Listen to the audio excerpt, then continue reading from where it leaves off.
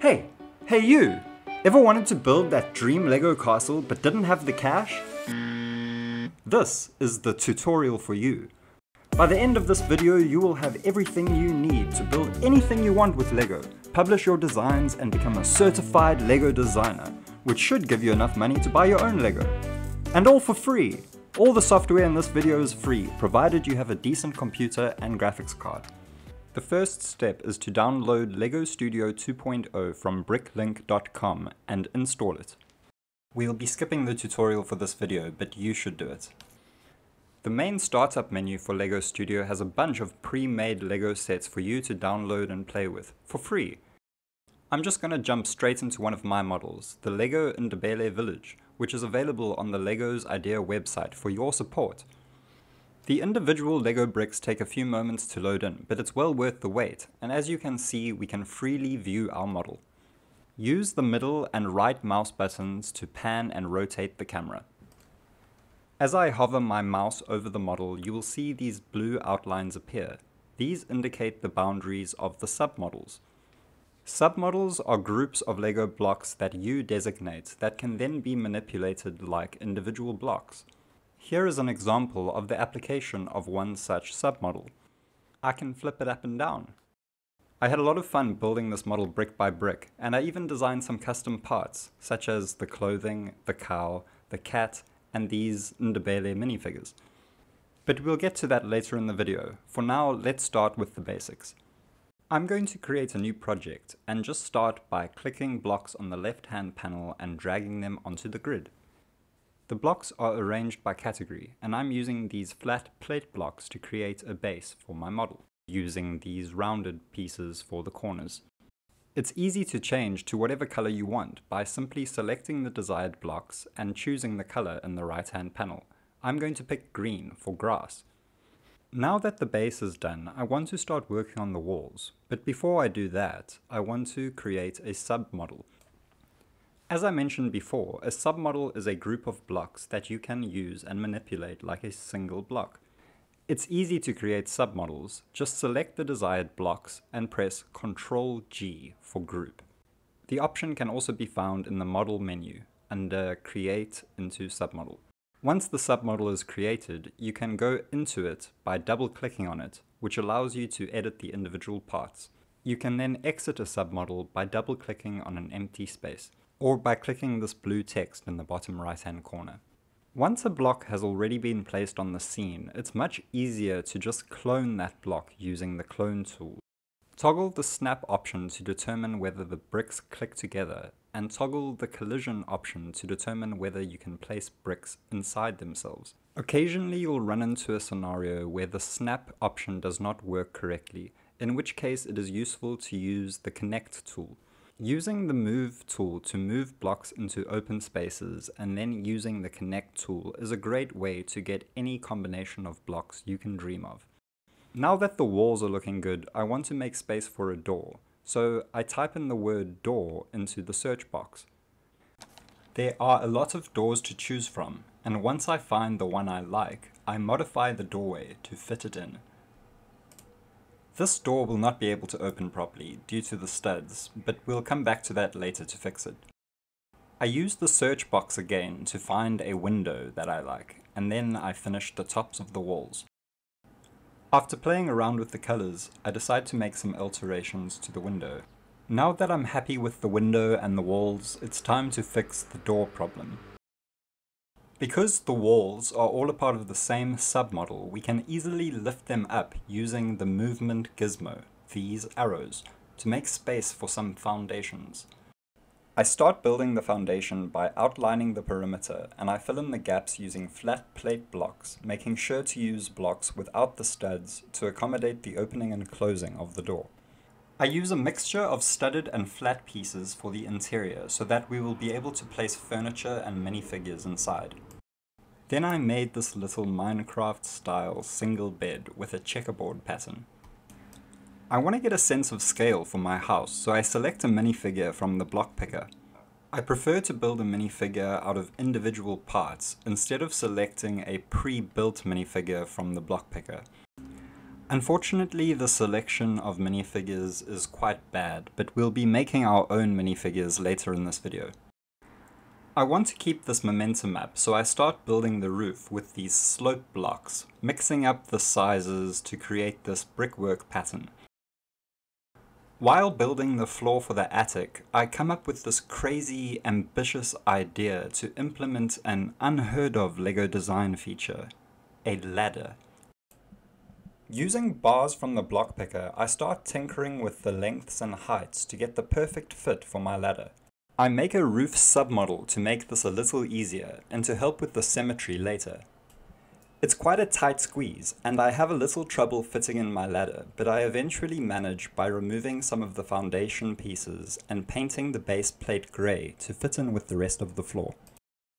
I take a moment to step back from the roof design and add a little bit of foliage and objects around the hut to give it a little bit of character.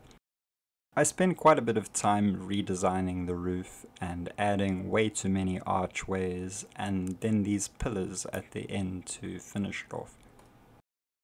I color some of the grass yellow in order to make it look like sand, and that transforms the model into a beach house. I'm quite happy with this for the purposes of demonstration, so let's move on to rendering.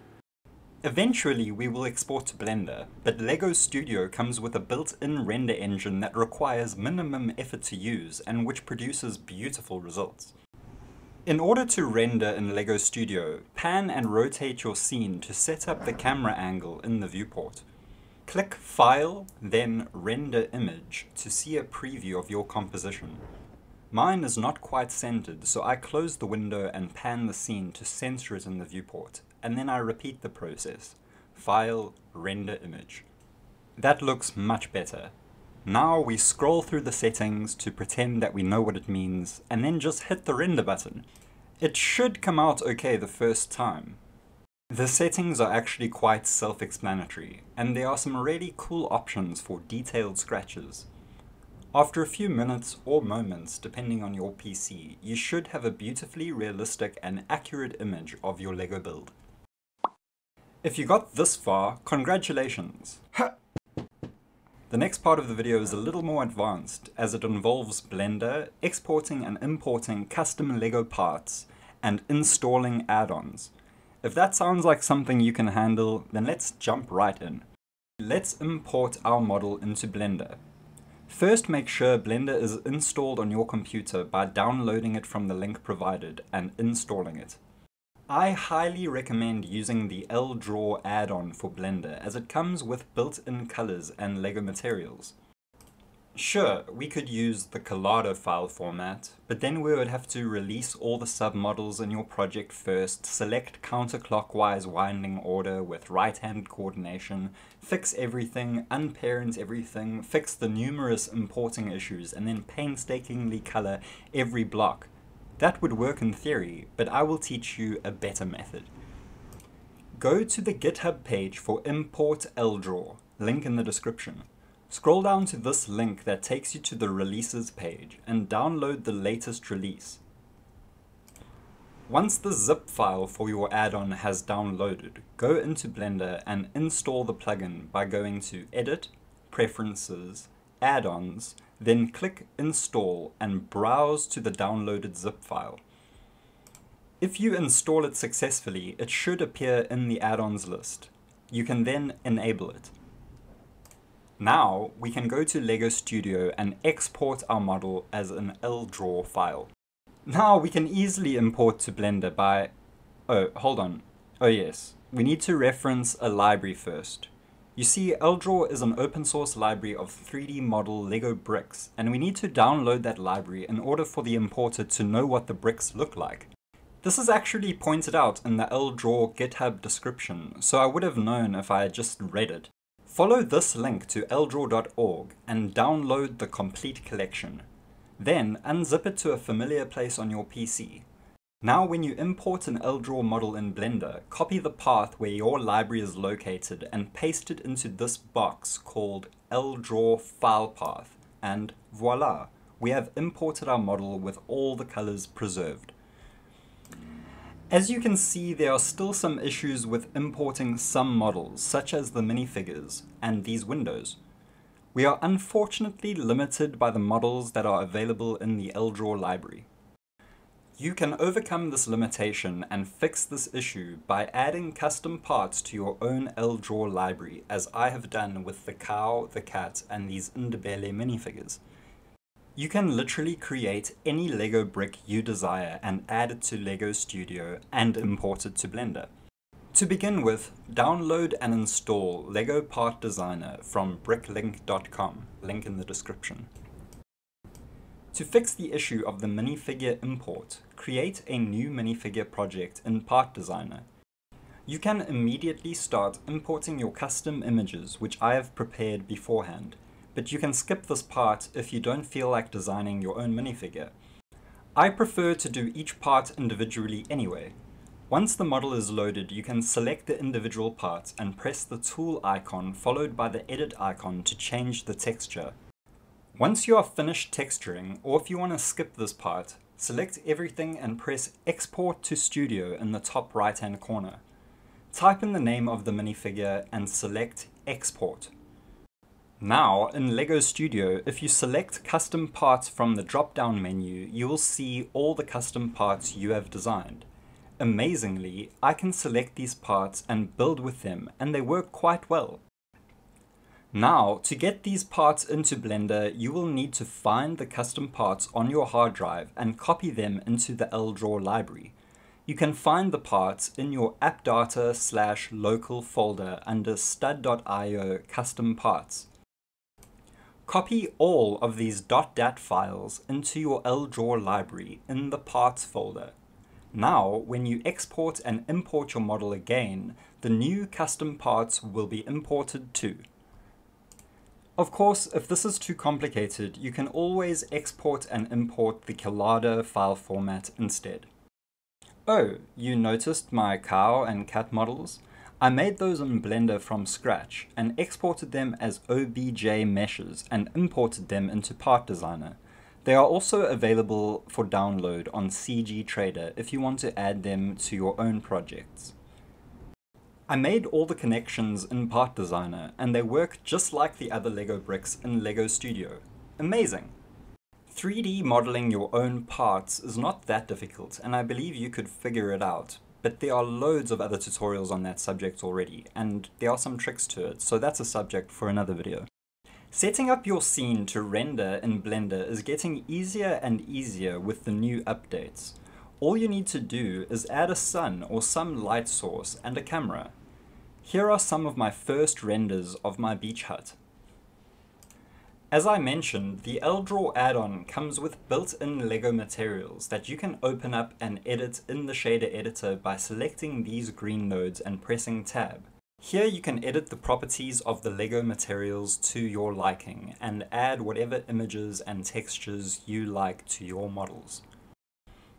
Unfortunately, this topic is beyond the scope of this video, but there are many videos on YouTube, some of which are specifically tackling rendering LEGO bricks. Here is an image of my setup, which you can copy Animating these LEGO scenes is not too difficult either, but unfortunately this is beyond the scope of this tutorial and there are many other tutorials on YouTube covering this exact topic. I will simply add that Blender is an amazing tool and with a little effort I believe you will be able to achieve anything you set your mind to. Thanks for watching! I hope this helped and that you learned something fun to do with your lazy Sunday afternoons.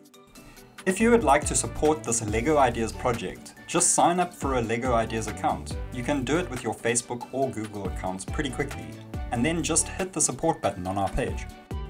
We'd also love to hear from you, so make yourself heard in the comment section. Thanks again for watching, and of course, don't forget to like and subscribe. Love you lots.